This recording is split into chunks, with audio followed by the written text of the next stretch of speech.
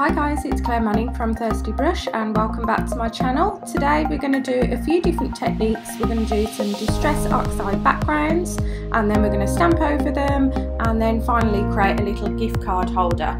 So first of all for this card I'm going to use the Best Blossom stamp set.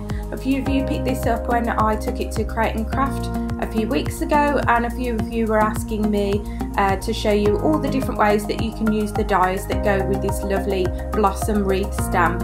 So to do that I'm going to show you uh, of course those die cuts um, but let's first create some kind of background that we can stamp on. Of course you can just stamp out this image using uh, your normal black ink or your embossing powders and then colour with pens, pencils etc but I thought I would create a fun Distress Oxide background that's really easy and then just stamp it over in black. So I've got three different coloured Distress Oxides here. I've got Cracked Pistachio, Peacock Feathers and Mermaid Lagoon and I'm literally just on a pre-cut panel just wiping it over from top to bottom and reducing the amount of pressure on that pad as it goes down and it almost looks like distressed paint strokes then. And I'm kind of mixing the two colours together next to each other. And then I'm going to bring in the third colour. So for this I've gone from kind of light to darker in these greens and blues and I'm just kind of swiping it down kind of third of the square piece of card for each colour, slightly blending them um, and just going back in if I want to intensify that colour a little bit more. I'm going about maybe just over two thirds of the way down on the card and then just going back in with a medium colour and the lighter, like I say, just to blend out those edges and make it look like that kind of ombre effect, dry paint effect. So I'm quite happy with that as a background. So what I'm going to do now, because these are oxides, is I'm just going to flick a little bit of water from um, a little cup that I'd got that I was using for painting and then take some kitchen roll, let that ink oxide, um, dioxide, oxide, what's the what's the correct way to say it? Oxidize, that's it. and then just dab off the excess water with my kitchen roll and that will just give it some extra little dimension and textured kind of effect. So I'm quite happy with that. I'll give it a dry off and then we're literally going to kind of stamp over this and use elements of this background now um, with our stamped image, not just as a flat background. So I'll show you the different ways that you can do that with the dies. So to start off with, I'm just going to take the main wreath image of the stamp set, the Best Blossoms, and just stamp it over where I feel like. Of course you could use the other elements on the stamp set as well and decoupage up if you want but just for this particular demonstration I'm just going to stamp out the main large wreath image. Um, because we're going over a kind of powdery, almost chalky like the Distress Oxides, I'm using a black ink called uh, StazOn. Um, you could probably still use your VersaFine or your Memento on here, uh, but StazOn kind of works on any kind of surface and because this is slightly textured, chalky, um, because of the amount of ink that I've just used there, I thought the StazOn would be, give me a nice good crisp image. I'm using the stamping tool here so I can go back in twice and just make sure that I've got all of that image stamped really nice and crispy and you can see it's got some lovely blossoms on there, some little buds and some nice leaves to make that kind of crescent wreath shape.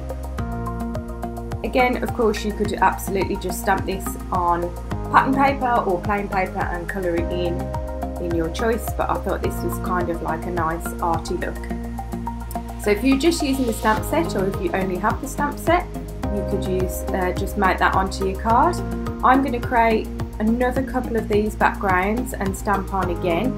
Kind of sped this up a little bit so if you're just watching the same thing over and over. I've, the only thing I've done here is some of them I've used more ink than others and some of them I've um, changed the order in the blues and greens that I put on the paper. Um, so I've found that using maybe like a smooth-ish paper is pretty good for this technique. And I'm using splashes and I think on the next one that I do I use some spritzing as well. So just experiment with what works with your cardstock and what textures and how much water spritzing you like on your backgrounds but this will allow me to do a few of these and demonstrate to you how to use the different die cuts that come with this Best Blossom set. So here's now the third one just to whiz through it just so you can get an idea again. Some of these pads I've found, um, sometimes you have to turn them a little bit to get a really smooth swipe. This, this effect would look really nice doing a kind of rainbow background card as well if you've got plenty of distress oxides in different colours.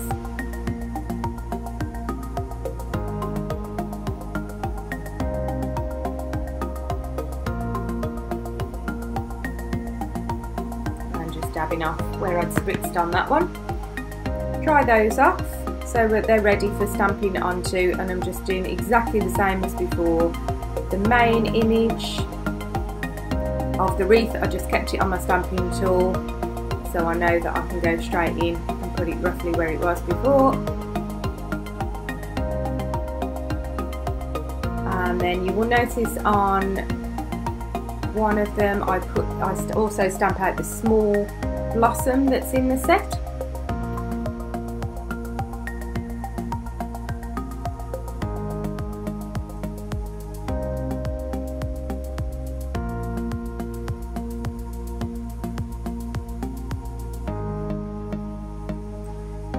Here's the wreath, I've moved it over slightly so I've got space to stamp out the small blossom.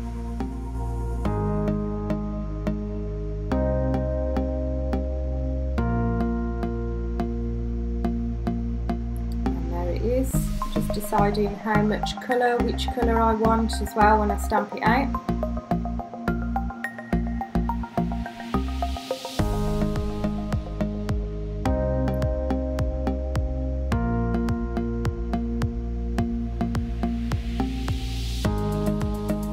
There's our three. So let's get the die cut set out now and I can show you the different ways you can use it. So you have got an outline die for the wreath itself so I've just positioned that outline die for the wreath over. You'll notice your little release holes are really easy, helpful for lining it up or you could even cut out the outline of the wreath first and then stamp whichever you find easier. So I've also used the small die for the little bit of blossom to cut that out so I can decoupage that up. So just running that through my machine now and there we go you've got a nice outline with uh, a millimetre or two and I just pop out the little extra blossom and then we can choose whether we want to decoupage that up a little bit later on. So the other options for the dies are there's this lovely oval shaped die. This gives um, a nice neat border to your wreath and then you've got an inner die for the wreath as well so you can either use the oval on its own or you can use this extra inner die and it creates uh, a kind of aperture on your card that you can uh, build up if you want to or add on to other backgrounds. So there are other options as well to the ones that I'm showing you here. I'm sure you'll find other ways of using it but these are the main ones and that square one you've also got you can use as a matte layer or again you can decoupage it with your little blossoms your large wreath or take that middle out as well so it's a really versatile set that gives you loads of options but I know a few of you were asking so I wanted to show you that so like I say these are the bit elements that I've got here um, so I'm just playing around and deciding which ones I want to use for my card. If I don't put them all on one card, it's absolutely fine. I'll just keep them and make multiple cards out. So I think because I've made that lovely background, I'm going to stick to the square one and then decoupage that little blossom on top as well. So I've just got an 8 by 8 square card and I'm going to uh, do some matte and layering and I'm going to use this square background one here uh, that I use the matte layer die that came with the set. So I've just got some black and white card just to matte and layer up with some wet glue or use double-sided tape, whatever you've got around.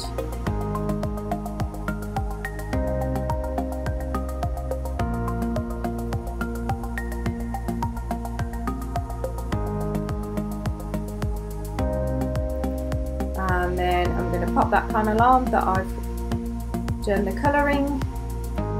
So these are the other options that I could have done. Because it's quite a big card that's why I've ended up going for the kind of square one. But you can see the kind of options you've got. And use your imagination a bit with papers that you've got, colouring mediums that you've got. Uh, and it doesn't have to be a square card. This set works perfectly as well for an A5 or 5x7 card for some of the smaller dies so mounted that onto the card just to add a sentiment and I'm using this Yay stamp set, um, sorry die cut from our special words die set.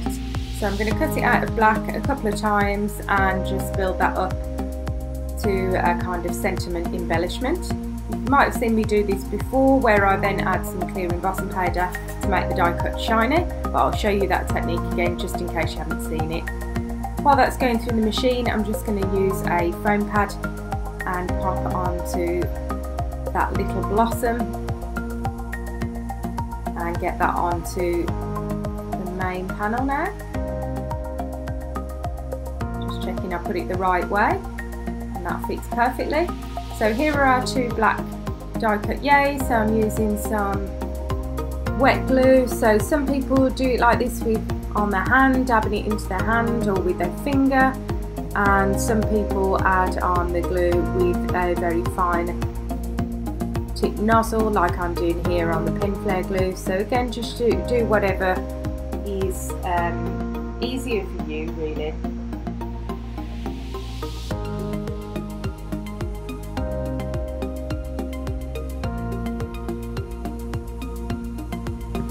So now to make that shiny I'm just adding pressing it into my Luminosity embossing ink pad and then adding the Crystal Clear clear embossing powder and I'll heat set that and you'll see how it makes that boring black card with the sentiment really really shiny.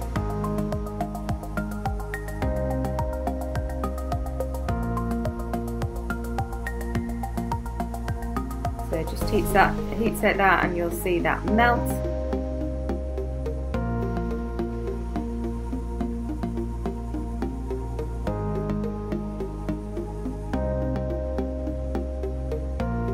So it's shiny already, but what I'm going to do just to make it super, super um, shiny and kind of uh, a little bit more resilient is I'm going to add a second coat of the clear embossing powder.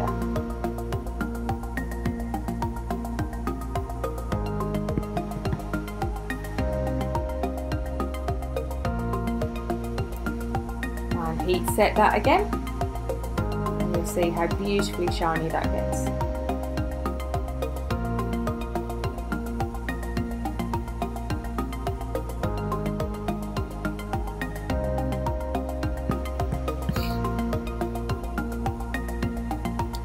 So all we need to do now is just let that cool and then pop that onto our card using some wet glue and then I think that card's complete.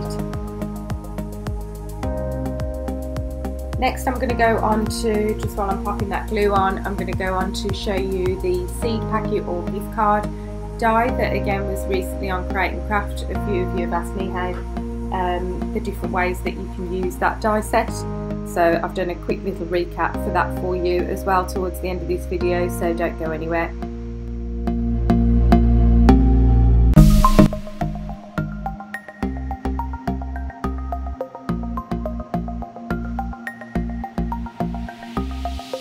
Just using that wet glue and fine nozzle again just to stick that yay coming out of the wreath there.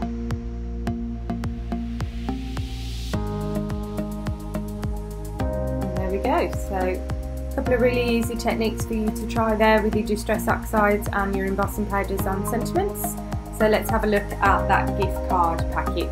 So it's called a seed packet die, which it could be used to cut and make a seed packet, but it can also be used for gift cards and for smaller cards, money, envelope, all those kind of things. So this is the main die and we're going to use this and cut out on some of our Magnolia, Sunshine Magnolia papers. So the papers are 12 by 12 but I just chopped it down a bit so it can fit through my um, die cutting machine. I always cut mine on the reverse so the score lines are can be easily seen on the white part of the card and don't cause any cracking then on any lovely pattern papers that you've got or metallic card, that kind of thing. You will need to check and experiment with your die cut machine whether you need the shim um, to make the score lines uh, visible enough. Some die, cut, die cutting machines you don't need to bother and it cuts through or presses the uh, score lines in nice and easily. Without others you will need the shim so just experiment with your machine. So then just fold up all the different edges, it's really easy and then we're just going to adhere it with some red liner tape which is really strong tape because you want that to be able to hold in place your little cards and things like that that I'll show you in a moment. But let's just pop that together and then we can have a look at those other elements that go inside the packet. So just some thin red tape.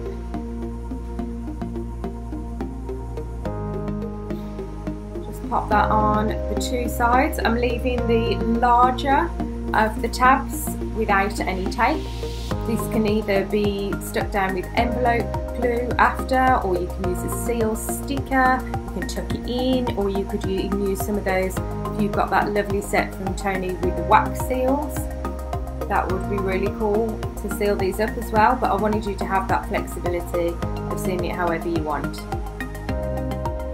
I've even seen people use uh, this side longer flap as the opening as well um, but I do purposely leave that top one longer uh, so you know that that's the opening and not to seal it up.